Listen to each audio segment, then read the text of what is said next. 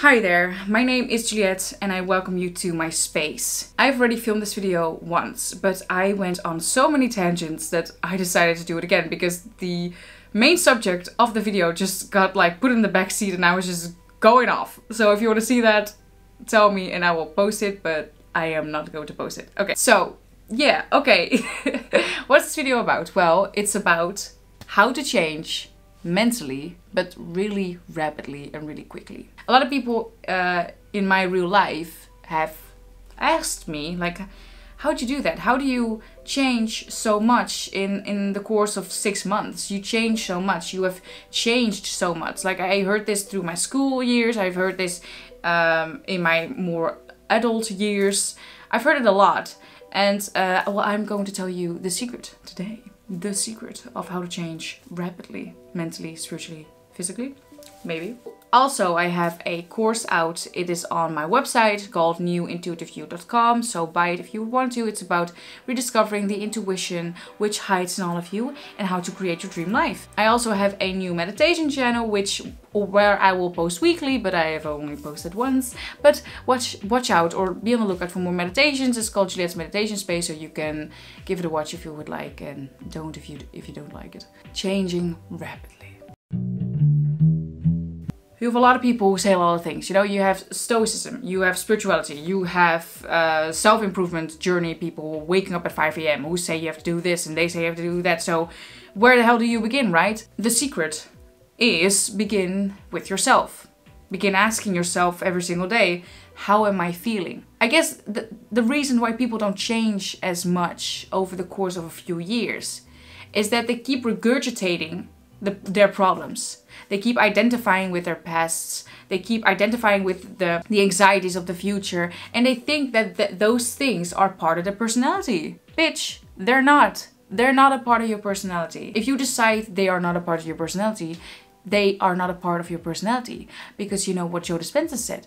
Your personality creates your personal reality they are not a part of your personality. Just because you were shy 10 years ago doesn't mean that I am a shy person. I remember saying that to myself when I was in high school. I'm such a shy person. I am so shy. I cannot speak in front of crowds. I get really nervous. And guess what? I was shy. I got nervous. I couldn't speak in front of crowds. Even though I did, I was really nervous doing it. You know what? I've been through a lot of shit. I've been through anxieties, depression, suicidal thoughts, I've seen a lot of it. A lot of it. I've seen my mind turn in eight different ways and I don't even know what that means. I've seen the worst thoughts that I've had, I've seen the best thoughts, I've seen the weirdest thoughts, and that's what I'm kind of encouraging you to do.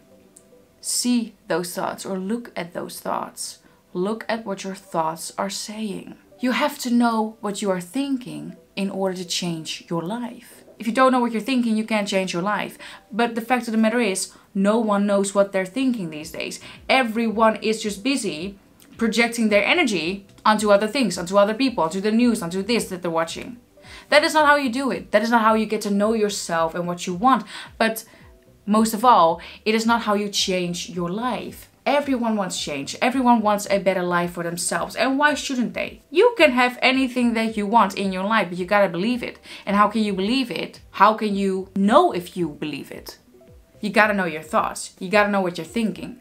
Now, I'm not saying that you have to, when a problem arises in your mind, that you have to get to the nitty gritty of it and you have to solve it to its core.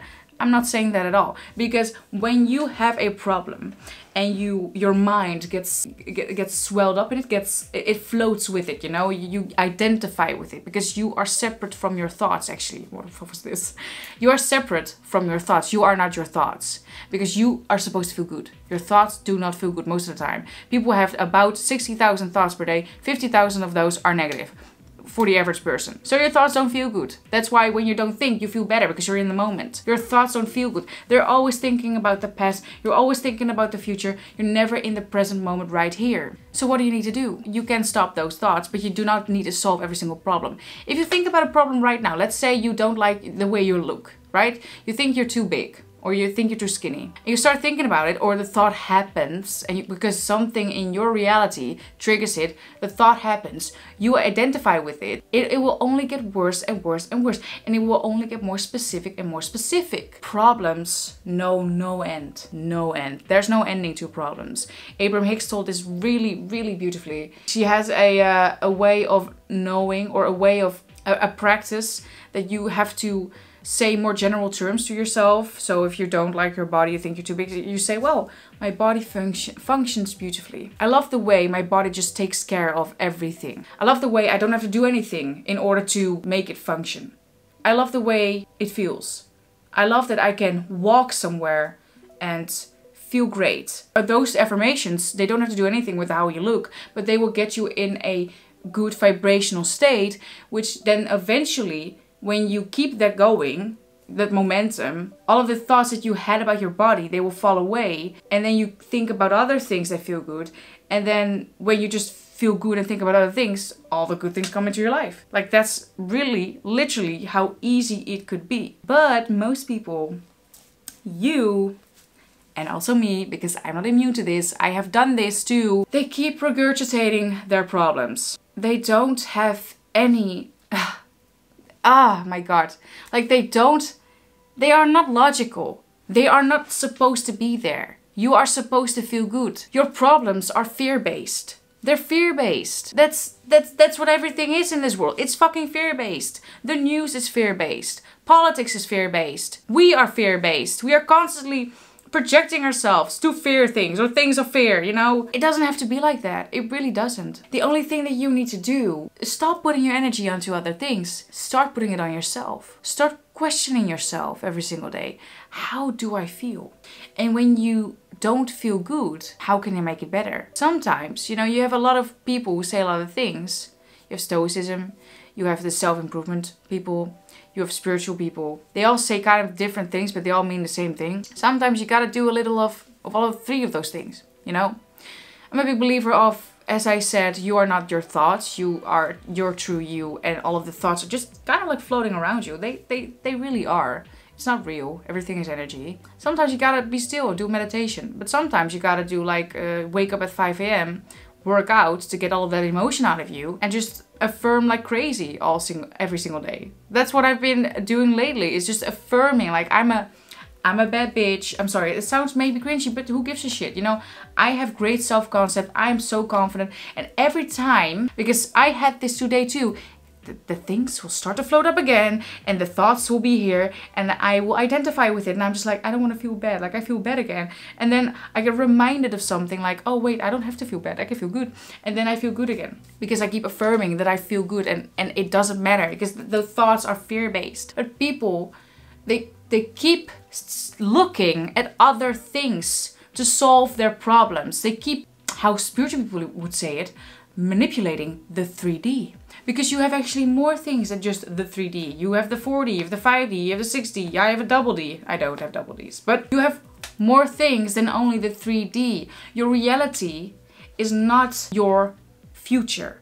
It is the past. Because, oh, guess what? Time isn't real.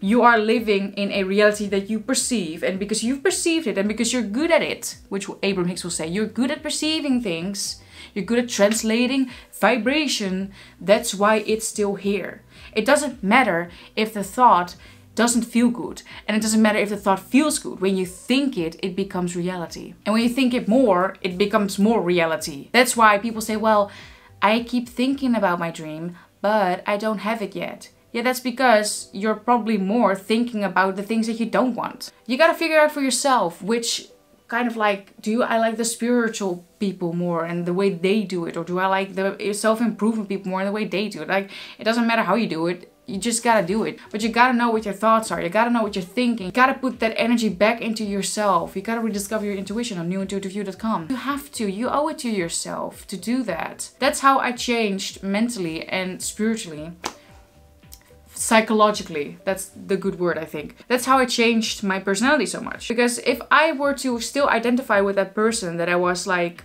six or seven years ago. I mean, I'm 25 right now, but I was so different when I was 19 or 20. I had insomnia for um, if I had to work the next day. I had street fear, you know, fear of going out. I had anxieties. Like i had a lot of trusting issues. I had such bad self-concept. I was ashamed all the time for, for just walking somewhere. I was filled with anxiety. Let's just say that.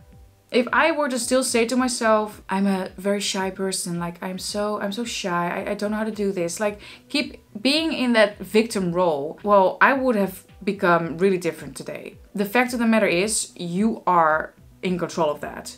Stop saying that you are not in control of that. Yes, it's not fun to know that you are the one who attracted these things into your life. But know that it is also not your fault. You are basically just doing the best that you can every single moment. I was attracting a lot of um, stupid shit into my life when I was younger. I was attracting a lot of unlucky things and a lot of, um, well, bullies, you know. But I know now that I didn't have I, I did have control of it back then too because I could have said like okay fuck all of you I will just do this if, if I had a sudden realization back then but I didn't I'm not mad about it. It happened. So when people say in when they're manifesting it, it's your fault that you're you've attracted that. Don't take it that that way. Don't take it personally. It doesn't matter that you did. You were doing the best that you can, that you could, that you you were doing the best that you could have done at that time. It doesn't matter. But saying that to yourself that, yeah, it was my fault or I am in complete control over it, it puts you back from the back seat into the driver's seat. And that means that you can change your life. Get out of the victim role. Get out of it. It doesn't do anything for you. I don't care how many people have wronged you. I don't care how mad you are. Because at the end of the day, you're going to be more mad at yourself when you don't change your life because you owe it to yourself. You gotta stop limiting yourself. You gotta stop saying that you can't have your dream life because of this and this situation and the things that happen in my life. And I am such a shy person, I can be on YouTube. I had a dream to be on YouTube many, many years ago. I think back even when uh, Nigahiga or um, Michelle, I was watching Michelle Phan or something, you know, or Jenna Marbles like in 2009. I had a dream to go on YouTube then. But I didn't because I put myself into the backseat and said, no, I'm a shy person, I'm anxious, I could never do it, I'm not worthy enough, I'm not blah blah blah blah. My personality was creating my personal reality. I got into my victim role. So take that power back for yourself. I don't care how hard it is. I don't care how many problems you have. I don't care what skin color you have. I don't care how fat or how skinny you are. I don't care. You gotta do it. What you gotta do. You, you owe it to yourself to do it. There's no other way around it. So do it. Yeah, so that's how I changed myself a lot mentally, spiritually, and soon physically because I'm working out again. No, but that's just how I changed myself. That's how you can change yourself. Be honest to yourself. Every single fucking day, just be honest to yourself. So, thank you so much for watching this video. I hope this helped you a little bit. Yeah, I hope you change yourself and I hope you take that energy and that power back to yourself. So, thank you for watching. Goodbye.